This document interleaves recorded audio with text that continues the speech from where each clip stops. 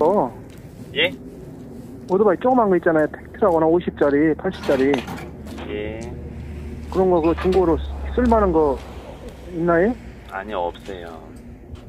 예, 알았습니다. 예. 예, 예.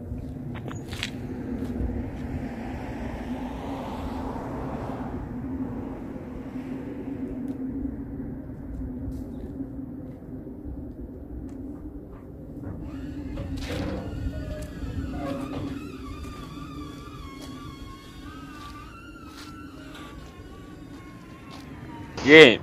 예, 사장님. 바쁜데 미안해요. 예. 이거 C650 거 뒤에 짐바지 이거 얼마나 갈까요?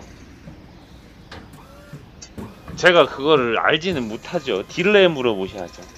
어디로 물어봐야 돼요? BMW 딜러요. BMW 딜러들한테 물어봐야 되는 게. 예. 예, 알았어요. 예.